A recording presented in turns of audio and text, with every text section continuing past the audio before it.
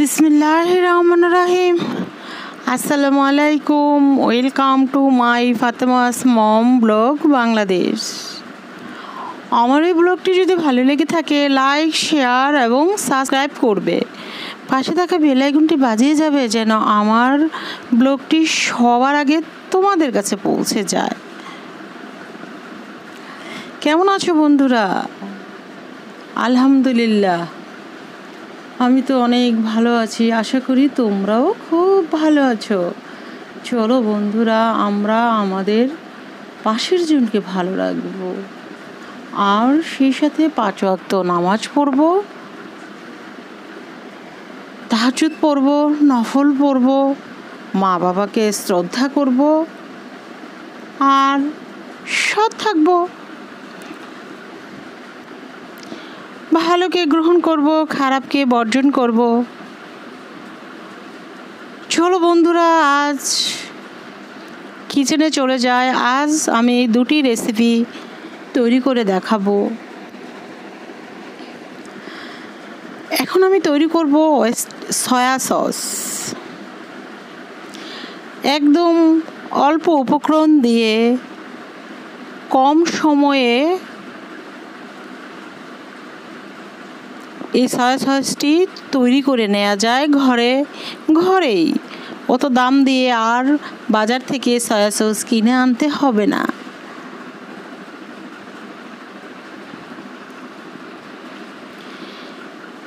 এই তো fry pan চুলাতে দিয়ে আমি এক কাপ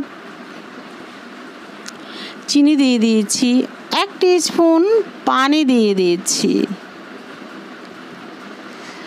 এখন আমি, এটা একটি ক্রামের আকারে হয়ে গেল।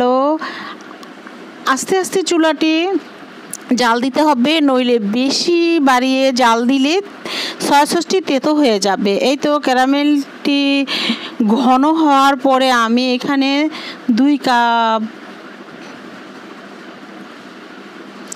পানি দিয়ে নিয়েছি।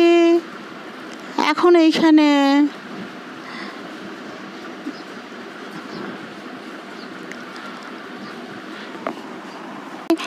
এক স্পুনের মতো সয়া সস দিয়ে নিয়ে এক সরি এক টি স্পুনের মতো টেস্টি সল দিয়ে নিয়েছি, এক স্পুনের মতো চিনিও দিয়ে নিয়েছি, সেই সাথে এক কাপ ভিনেগার দিয়ে নিয়েছি ভিনেগারটা অবশ্যই দিতে হবে। আর জাল দিয়ে পানির পরিমাণটা সরিয়ে ফেলতে হবে, শুধু থাকবে ভিনেগার পানি থাকলে কিন্তু এই সয়া সসটি ভালো হবে না।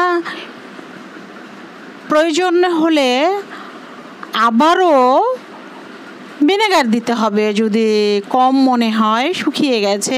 এই তো আমি কাপে, একটি ছোটো কাপে হয়ে গেছে যে সসটি সয়া সসটি দেখিয়ে দিলাম এবং ঢেলে আবারও রেখে দিলাম। আমার সয়া সসটি হয়ে গেছে, আমি সার্ভ করেছি, দেখতেও কিন্তু একদম দোকানের মতোই হয়েছে। ট্রাই করে দেখবে, ভালো লাগবে। আর আমার কোনো রান্না যদি তোমরা তৈরি করো, তাহলে আমার ফাতেমাস কুকিং স্কুল পেজে শেয়ার করতে পারো। ছবি উঠিয়ে আমার কাছে ভালো লাগবে। এই তো আমি আরেকটি সার্ভিং পেয়ালাতে ঢেলে নিচ্ছি। দেখো, কেউ কি বলবে, এটা আমি দোকান থেকে কিনে আনিনি, ঘরে তৈরি করেছি। খুব সহজে ঘরেই তৈরি করে নেও। সস এখন দেখাবো আমি টাঙ্গাইলের পোড়া বাড়ির চমচম। তবে এই চমচমটি একটু সময় লাগে তৈরি করতে। দেখতে থাকো, দেখলেই বুঝতে পারবে। এই তো আমি এখানে এক কেজি দুধ নিয়ে নিয়েছি এবং দুই টেবিল চামচের মতো ভিনেগার দিয়ে নিয়েছি। কাপের মধ্যে দুই টেবিল চামচ ভিনেগার দিয়ে এক স্পুন পানি দিয়ে নেড়ে ঢেলে দিলাম ছানা করার জন্য দুধের উপরে। এই তো আস্তে আস্তে কিন্তু ছানাটি হয়ে আসছে। আস্তে আস্তে নাড়তে হবে আর চুলাটি বন্ধ করে দিতে হবে, কারণ এখানে যে দুধ, যে পরিমাণে গরম আছে, চুলাটা বন্ধ করে দিলেই ভালো হবে। এই তো আমার ছানা কিন্তু হয়ে গেছে। পানির কালারটাও, দুধে ছানাটা হয়ে যাওয়ার পরে যে পানিটা উপরে উঠে আসে, সে কালারটাও চলে এসেছে। এখন আমি ছেঁকে নিচ্ছি ছানাগুলো এবং খুবই ভালোভাবে ছানাগুলো ঠান্ডা পানি দিয়ে ধুয়ে নিতে হবে যেন ভিনেগারের কোনো গন্ধ না থাকে। ভিনেগারই হোক বা লেবুর রসই হোক খুব ভালোভাবে ধুয়ে নিতে হবে ঠান্ডা পানি দিয়ে যেন লেবু কিংবা ভিনেগারের গন্ধটা না আসে।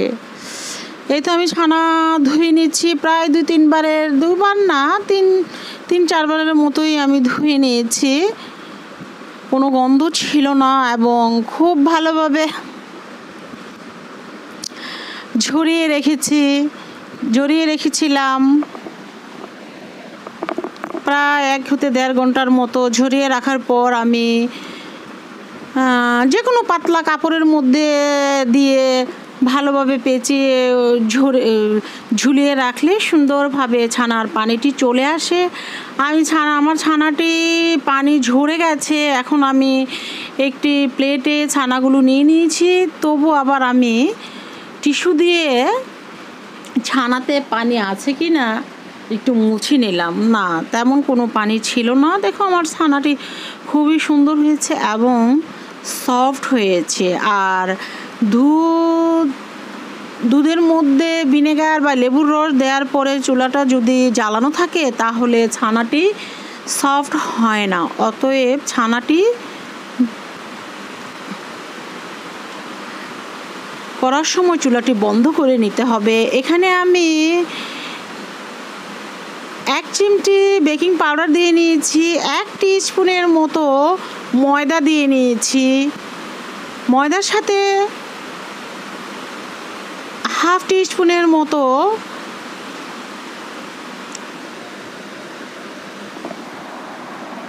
সুজি দিয়ে নিয়েছি।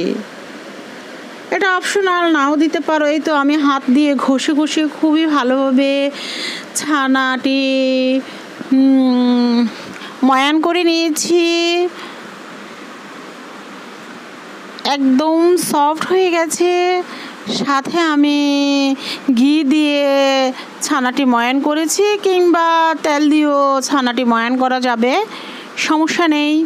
এখানে আমি মিষ্টিগুলো শিরাতে দেওয়ার জন্য আমি শিরা তৈরি করে নিচ্ছি। এখানে আমি এক কাপ চিনি দিয়ে নিয়েছি, দুই কাপের মতো পানি দিয়ে নিয়েছি।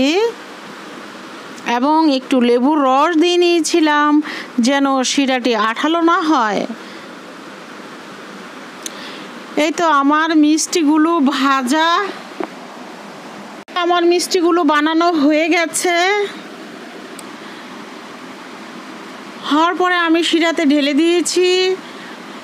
আর টাঙ্গালে চমচম করতে গেলে অবশ্যই ক্যারামেল দিয়ে করতে হবে, কারণ আমার এখানে এই কালারটি করতে গেলে, গোল্ডেন কালারটি করতে গেলে ক্যারামেলটি তৈরি করে শিরার মধ্যে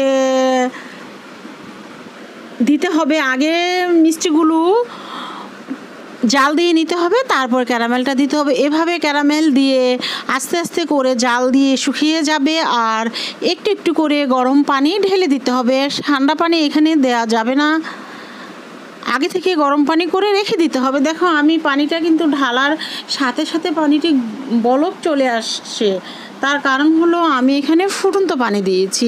এভাবে কালার তা এভাবেই করে নিতে হবে। আবারও পানি শুকিয়ে গেছে, জাল দিতে দিতে আবারও আমি গরম পানি একটু একটু করে দিয়ে নিচ্ছি। হাফ কাপ বা হাফ কাপের কম একটু একটু করে দিয়ে দিয়ে এই চমচমের কালারটি করে নিতে হবে। আর কি আর বলব, বানানোর পরে যে কতটুকু সুস্বাদু ও মজাদার ছিল, সেটা নিজে না খেলে ভাষায় প্রকাশ করা যাবে না। তোমরা একবার বানিয়ে খেয়ে দেখো। আমি তো ভাকা ভাষায় প্রকাশই করতে পারব না। তোমরা খেয়ে ভাষায় প্রকাশ করো, আমাকে জানিও।